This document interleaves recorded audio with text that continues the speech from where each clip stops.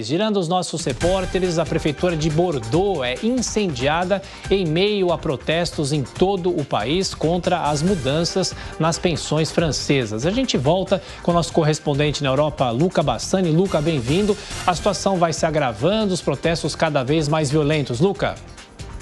Exatamente, Tiago. Bom dia a você, a Adriana, a todos que nos acompanham. A gente viu que durante as últimas horas, principalmente na noite de ontem, os protestos tomaram um caráter muito violento, em confrontos diretos com a polícia, além de vandalismo, exemplo da prefeitura da cidade de Bordeaux, uma das mais importantes da França, que foi incendiada. Não só isso, mas também na capital Paris, vemos que redes de fast food e outros estabelecimentos comerciais foram vandalizados, muito vidro quebrado e também os manifestantes jogando é, pedras contra a polícia, que respondeu com gás lacrimogênio, com bombas de efeito moral, e a gente vê esse caos instaurado. Segundo as centrais sindicais, foram cerca de 3 milhões e 200 mil pessoas que compareceram às ruas de toda a França, só em Paris 800 mil, que seria um recorde, mas o governo dá um número muito diferente, falando um pouco mais de um milhão é, para tentar diluir essa quantidade de manifestantes que tem aparecido eh, nas ruas de toda a França. Segundo as centrais sindicais, é necessário que o governo volte atrás ou pelo menos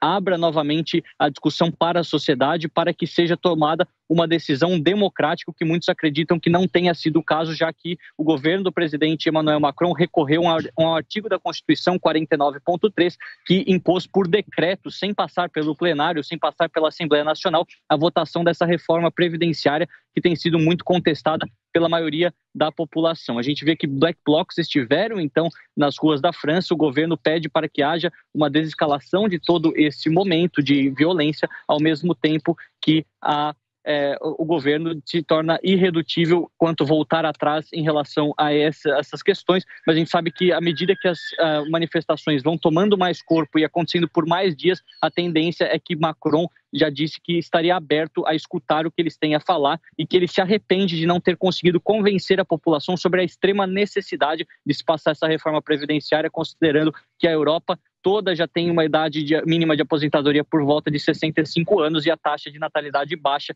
faz com que o número de contribuintes no futuro se torne cada vez mais escasso. É, ô Luca, e para gravar essa situação, domingo está prevista a visita de Rei Charles a Paris. Será que essa visita vai ser mantida? Como é que vai ser o reforço da segurança? Qual é a expectativa para essa primeira viagem internacional dele, né?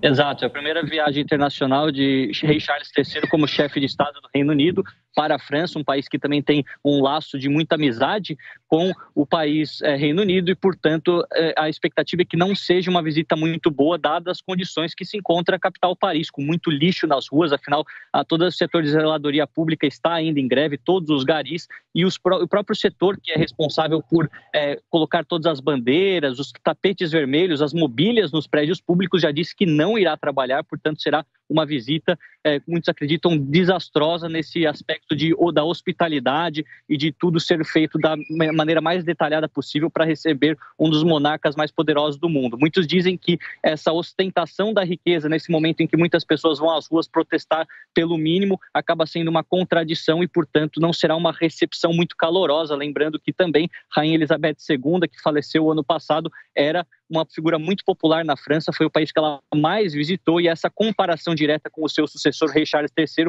ajuda com que essa viagem não seja das melhores para o monarca, que lembrando será coroado oficialmente em maio deste ano.